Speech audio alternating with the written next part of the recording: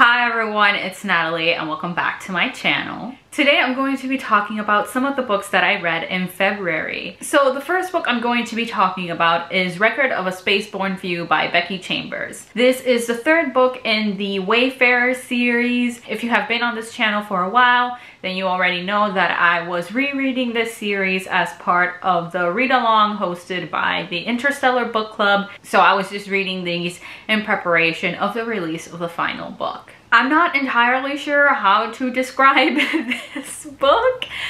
It's essentially mostly focused on this particular spaceship and the humans living in it and essentially a similar spaceship but not theirs it blows up and so we basically follow how everyone feels after that massive loss of life from that other similar spaceship. So I rated this book four stars. I have to say it's my least favorite in this series. For the most part, it's because I feel like it takes too long to get you into the story. I think this was part of our conversation in the book club that because this third book comes followed after it comes after this the second book which is mostly focused on very few characters and this one kind of expands again into focusing on more characters.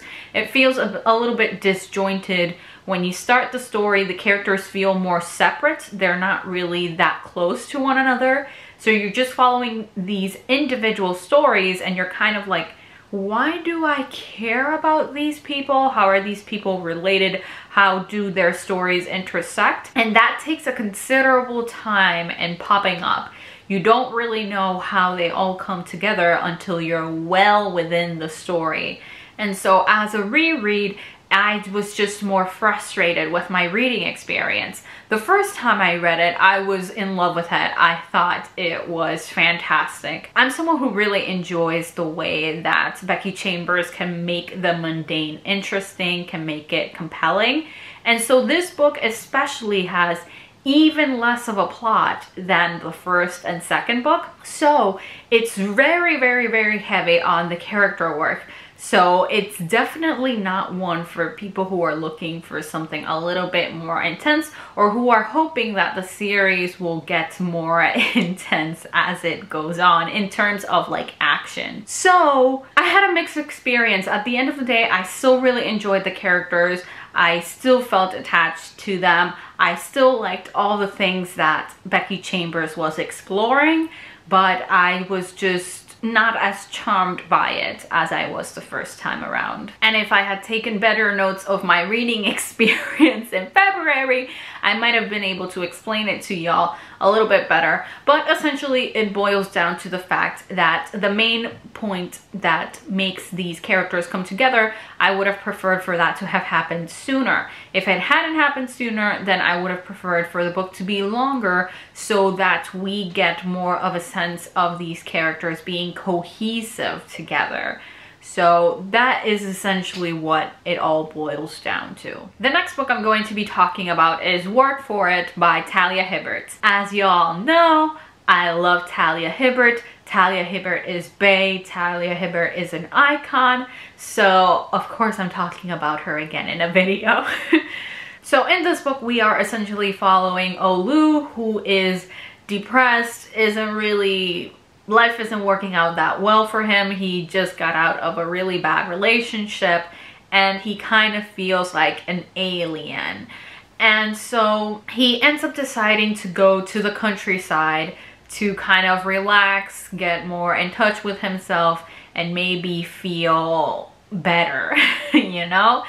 And so he ends up meeting Griff, who works at this what is it? I'm not entirely sure at this point what it is, but I know that one of the major things is like this flower festival. So he's very much preparing for that flower festival.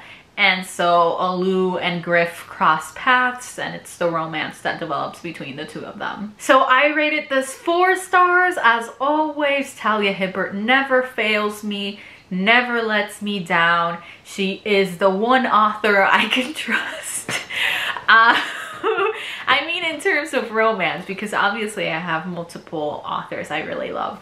But when it comes to romance, I just really like the romances that Talia Hibbert writes. So in this one, one of the things that I was kind of laughing as I was listening to the audiobook is that I thought about Read with Cindy because Read with Cindy is always talking about how books don't have ugly girl representation. And so, okay, maybe this one doesn't have ugly girl representation, but one of the major things in this book is how everyone describes Griff as ugly. Everyone is like, he's not really attractive. And Olu himself is kind of like, yeah, he's kind of ugly, but like interesting looking. So I'm still intrigued. I'm still, the intrigue is still there.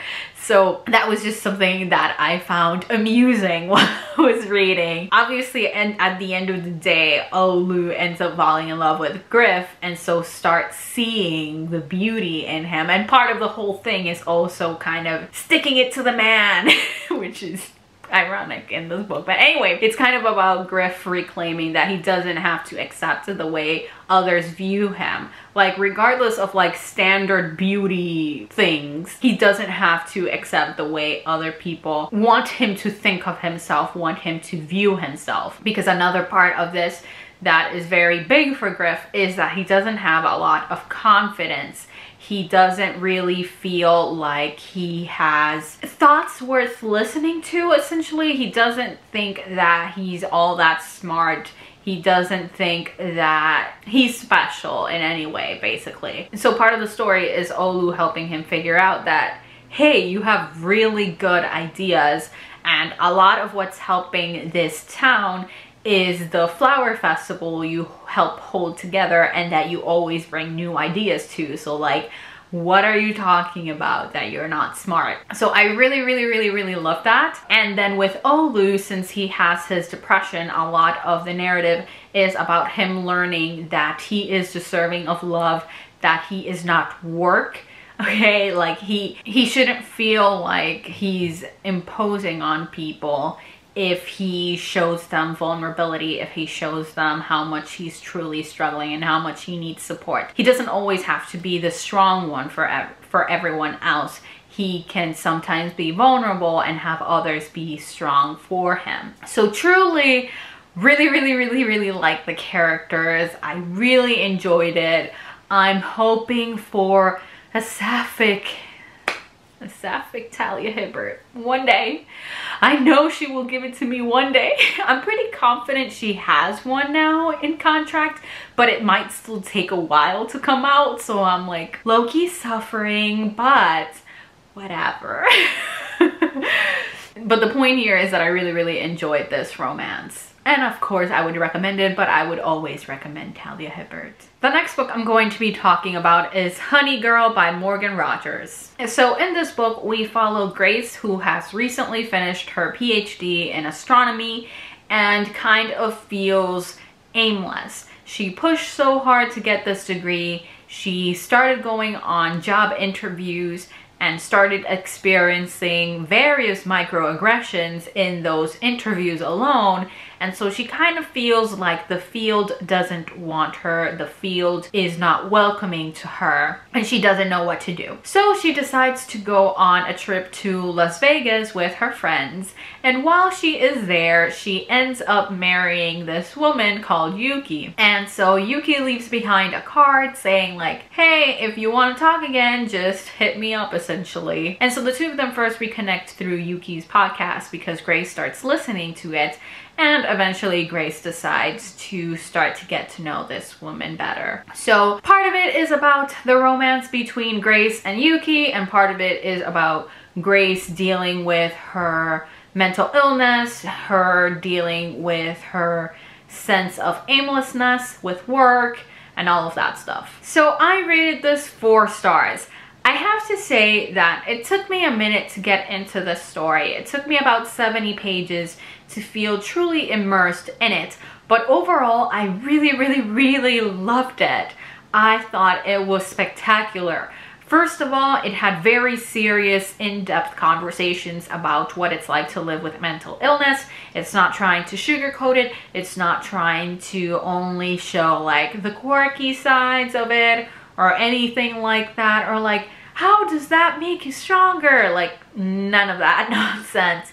It's very much focused on how do you cope with your mental illness? How do you properly take care of yourself? And how does your mental illness sometimes negatively impact you, impact the ones around you, and things like that. So that was top notch quality. And then the romance was also spectacular. Grace and Yuki were adorable. There was so much sapphic yearning here that it was just a work of art just a work of art. Some of the quotes here, I was like, thank you.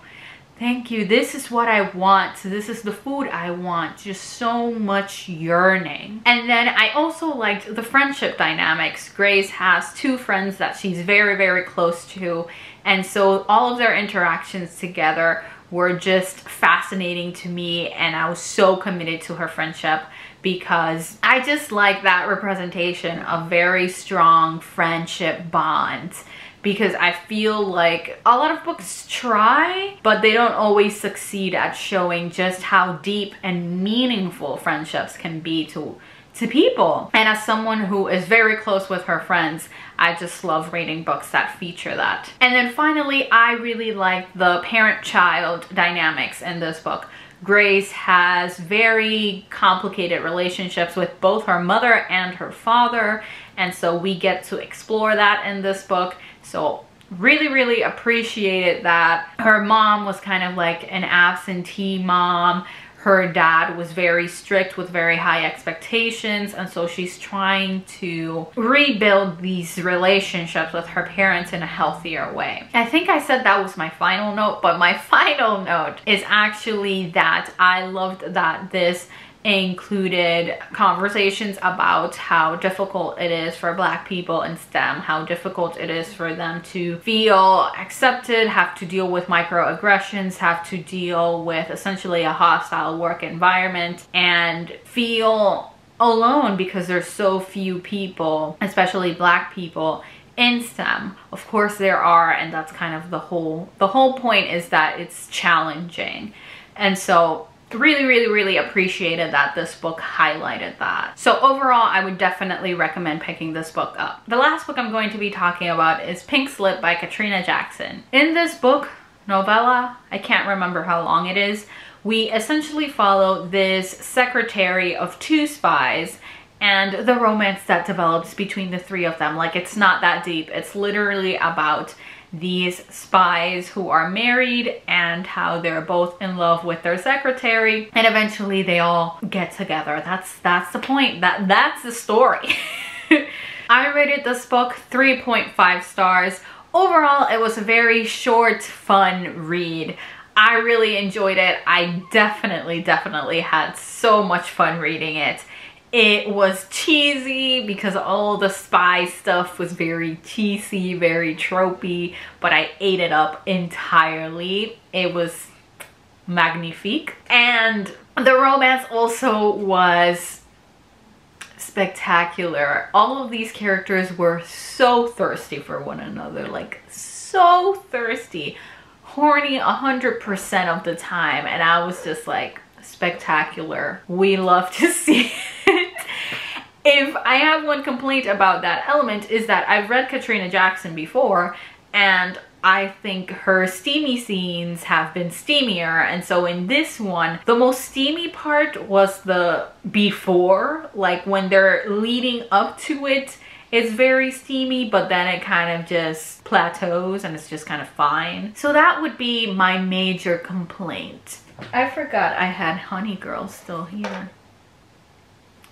We're gonna pretend like that didn't happen, but essentially that's everything I have to say about Pink Slip. Since it's such a short read, it's not like I have super in-depth thoughts about it. So I would still recommend it if that's what you're looking for. If, if you're looking for a book with a polyamorous relationship, if you're into cheesy spy shit, just pick it up just pick it up. So yeah, that's it for today's video. Thank you all so much for watching. If you enjoyed this video, please don't forget to like, comment, and subscribe. If you would like to follow me on any of my social media, I will have the links to that down below in the description. But for now, see you next time.